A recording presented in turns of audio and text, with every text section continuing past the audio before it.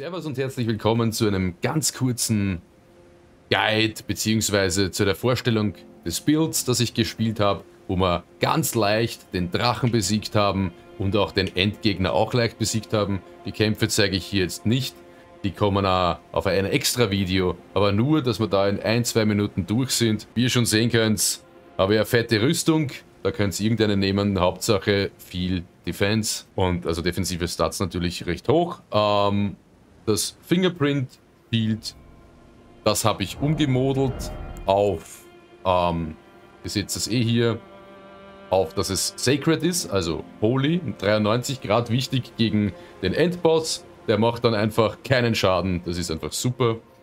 Ähm, das Bild ist eigentlich mein Paladin oder das Paladin Blasphemious äh, Blade Build, das eh quasi mittlerweile eh jeder kennt. Ähm, deswegen haben wir auch die Stats. Man sieht es halt jetzt ein bisschen schlecht.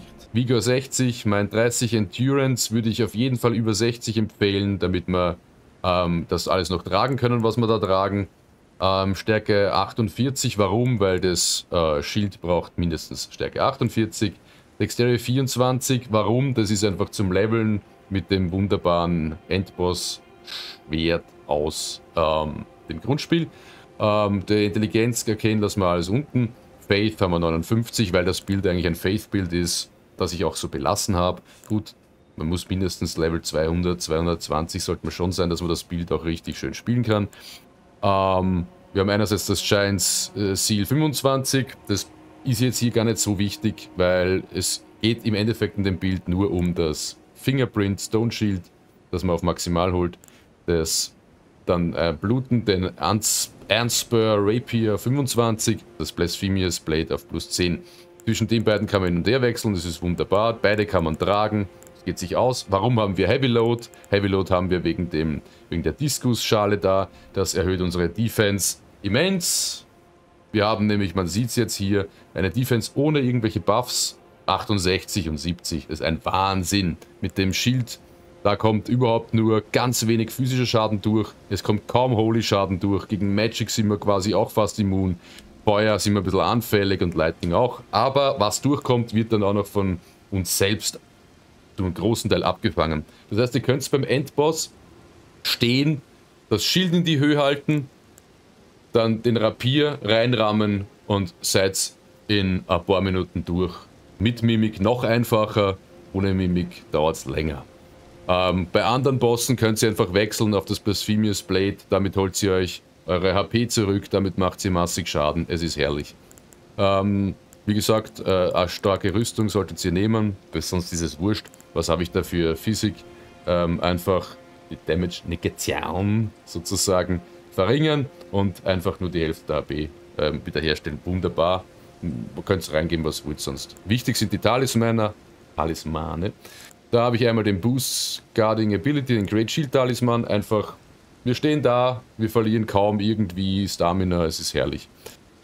Die Schildkröte, kurz das Schild auslassen, zack, fast wieder voll. Herrlich. Two-Headed Turtle Talisman. Sehr zu empfehlen für das Bild. Dann hier könnt ihr den wechseln, was ihr wollt. Ähm, wenn ihr jetzt eben gegen ähm, irgendwelche Fire, Lightning, Holy Sachen, also dann könnt ihr das reinhauen, das Pearl Drake Talisman oder einen eurer Wahl, Anti-Feuer etc., das ist wurscht. Interessant ist eben dieser Diskus Talisman, der euch extrem pusht. So, da ihr diese Sachen jetzt alle gesehen habt, das ist der Bild. Wo ihr diese ganzen Talismane etc. herkriegt, könnt ihr euch ja selbst ergoogeln. Da werde ich jetzt kein extra Video drüber machen, beziehungsweise es gibt tausende Videos darüber.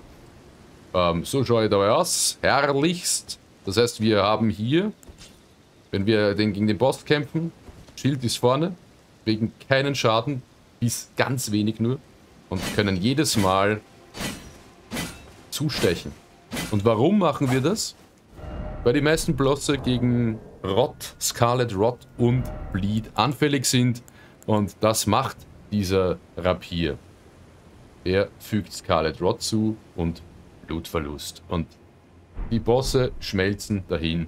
Und für alle anderen Bosse oder für alle normalen Gegner Blasphemous Sword, beste Variante.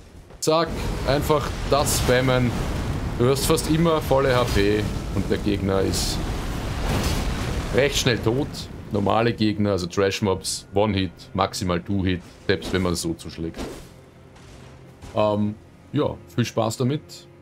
Oder auch nicht. Jeder wie er will, soll er spielen wie er mag.